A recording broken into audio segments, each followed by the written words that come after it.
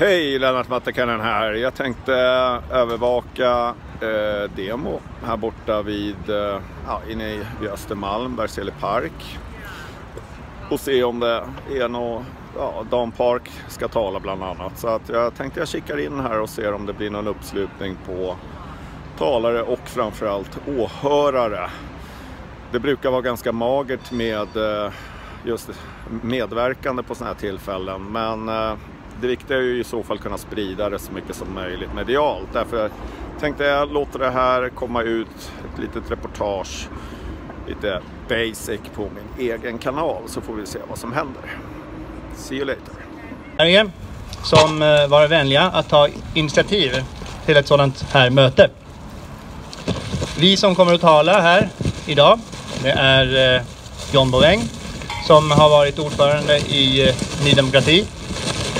Och det är även eh, Henrik Agerhäll eh, som har också varit medlem då och aktiv politiker i Sverigedemokraterna. Eh, Dan Park som är känd eh, gatukonstnär. Och så även jag själv, David Bergqvist, som även har bakgrund inom Sverigedemokraterna. Eh, jag ska ganska raskt gå vidare i programmet här och lämna över till John Moräng. Men först tänkte jag att jag ska ta upp lite information om vad som har hänt i år hittills. Vi har ju eh, siffror från eh, migrations, självaste Migrationsverket som visar att fram till och med september så beviljades 89 120 permanenta uppehållstillstånd. Och eh, en del säger ju det att det är inte särskilt mycket.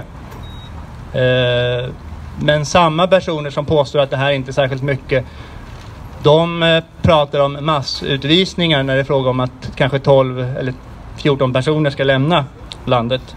Så där kan man ju undra då ja, hur man eh, definierar begreppet då, massa. Stäng våra gränser med omedelbar verkan. Va? Det är bara så.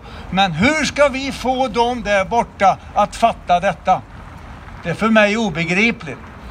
Så därför, när jag satt i riksdagen mellan 91 till 94 så bildade jag någonting som jag kallade Operation Rädda Sverige. Och det har vi startat upp nu igen. Och vår uppgift är att vi ska återta vårt berömda, hör här nu, kulturarv.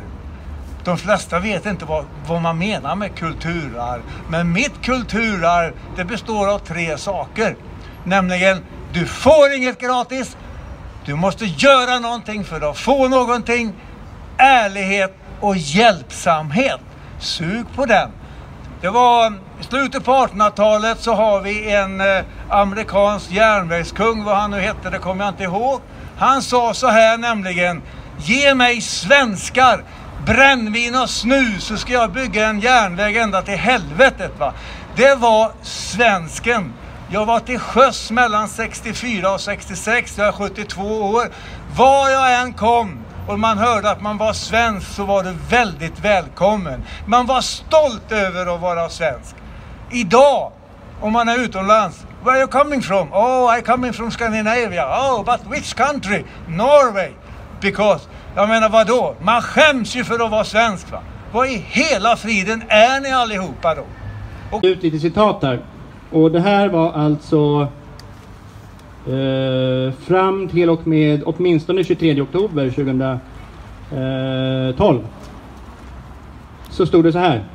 Citat då. Svenskar är en nordgermansk etnisk folkgrupp som generellt karaktäriseras av svenska som modersmål, nordisk härkomst och en gemensam kultur och åtminstone historiskt eh, protestantism. Och så var det förstås en hel del annan information där, men det var ju de här orden som jag tyckte var mest intressanta. Men eftersom Wikipedia är ju en sån här sida där man kan användare kan gå in och ändra. Jag har försökt i och för sig vid vissa artiklar där och det har inte fungerat så att det kanske bara funkar när det passar ja, det politiskt korrekta etablissemanget. Men om man går in på Wikipedia efter uh, den eh, 23 oktober 2012 så står det istället så här. Citat.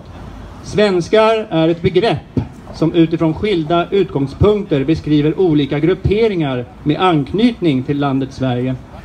Begreppet kan beskrivas med hänsyn till till exempel etniska, sociala, kulturella, juridiska, geografiska eller språkliga utgångspunkter. Slutcitat.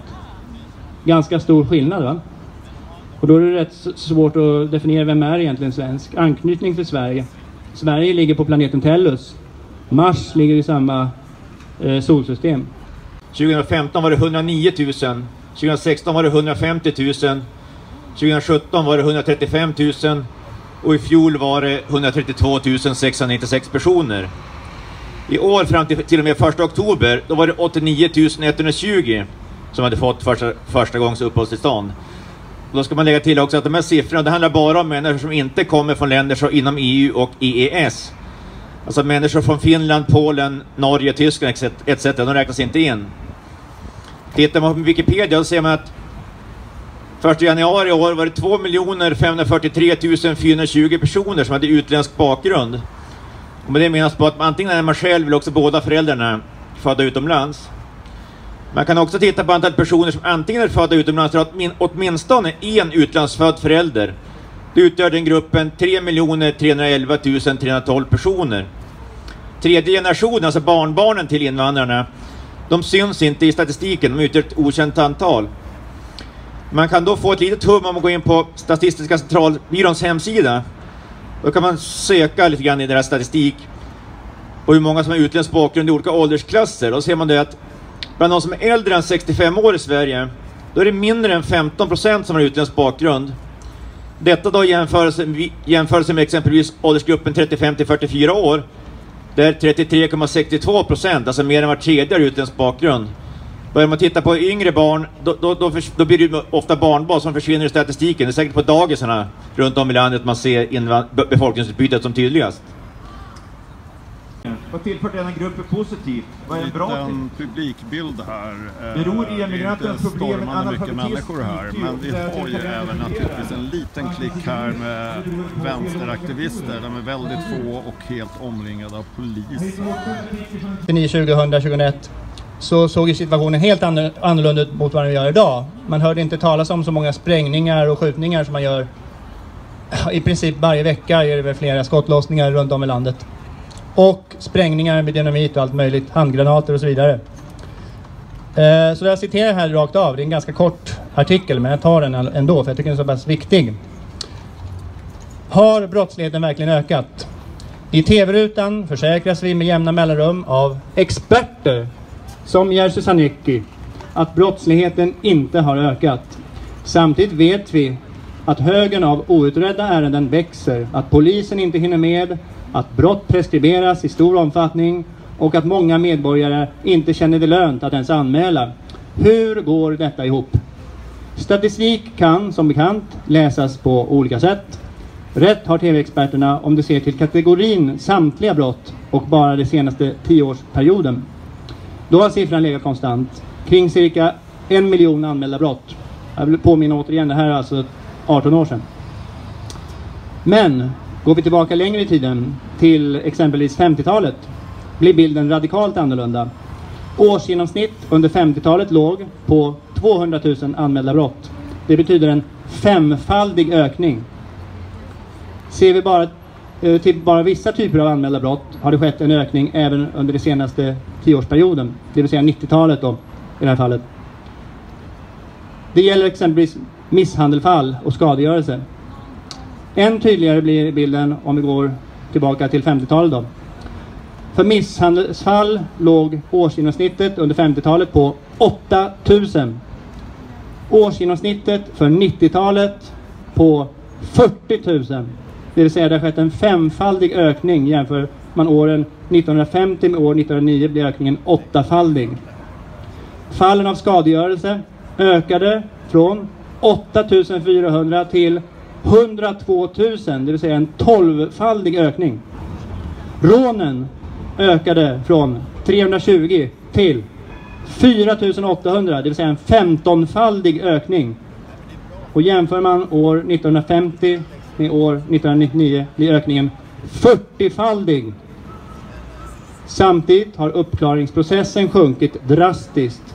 År 1950 låg den, låg den för samtliga brott kring siffran 50 procent. År 1997 var siffran nere i bara 17 procent. En etnisk rensning som makten inte talar om eftersom det är sitt eget folk som de med alla medel försöker byta ut.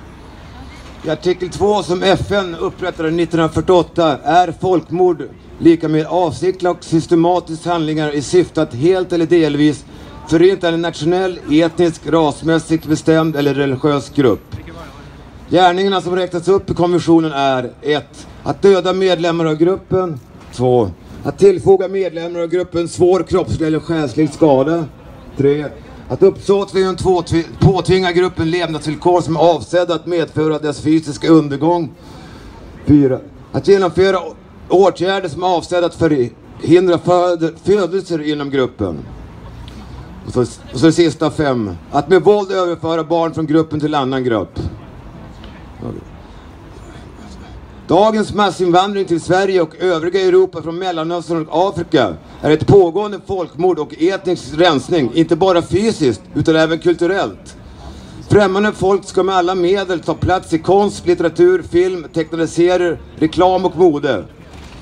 Det sägs att så kallade minoriteter måste känna igen sig och vara representerade i västerländsk kultur. Fan vet varför, de har ju sin egen kultur. Faktumet är att vi vita bara utgör 10% av befolkningen globalt räknat. Så där kan vi prata om minoritet. Ja, det var en liten men naggande god demonstration och här i bakgrunden håller man på och pyntar eh, julälgarna här. Eh, det var som sagt var en liten, liten klick med eh, vänsteraktivister och kan det vara 60-70 i publiken totalt som mest. Men eh, ja, varje människa som samlas och eh, inspireras och inspirerar andra är ju alltid ett steg framåt. Men jag önskar naturligtvis att det ska vara större skaror som kom på de här demonstrationerna när det finns möjlighet. Speciellt de som brukar fråga vad ska jag göra så är det de här samlingarna som är bra att samlas kring. Men men, det var mitt enkla lilla reportage idag i denna höstkyla, vacker dag. Tack för mig, hej!